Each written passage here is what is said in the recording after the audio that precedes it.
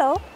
Um, if you're fascinated by biodiversity issues and if you're interested in biotechnological innovation and if you feel at home when you're at sea, well, you should be eager to attend our master course in marine biology and ecology that we held at the Department of Ecological and Biological Sciences of Tuscia University. My name is Roberta Cimmaruta.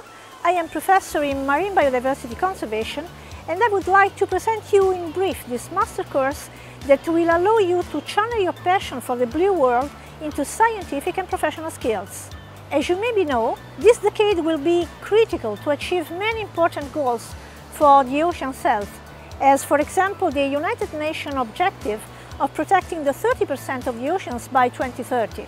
However, oceans are also suffering an increasing number of impacts that are altering their functioning are threatening the biodiversity and are reducing their ability to support a sustainable and fair global economy. There is a striking need for the professional figures that will be trained by our master course in marine biology and ecology. People able to face environmental challenges and to reconcile the protection of the marine ecosystems together with the sustainable use of their goods and services. To become one of these figures, you will need to acquire a strong knowledge of biological and ecological disciplines, but also you need to be able to manage a lot of different and advanced tools in the field, in the lab, and in data management. Even more important, you will need to shape your mind on a multidisciplinary approach to environmental problems. Our students will be guided along their training path through classes, laboratory exercises, field activities, professional stages. For example, you will attend the Blue Week, a five days trip with field activities and open-air classes in the beautiful location of Ponza Island.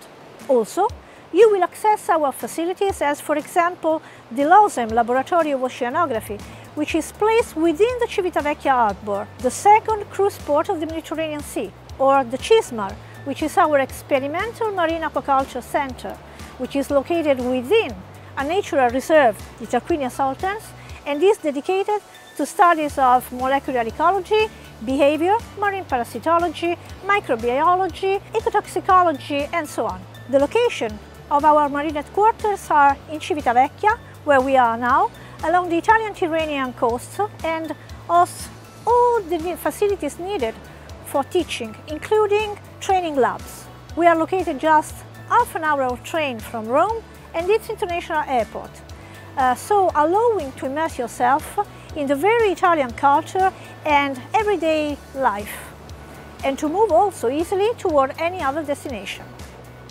I hope to see you in Civitavecchia very soon.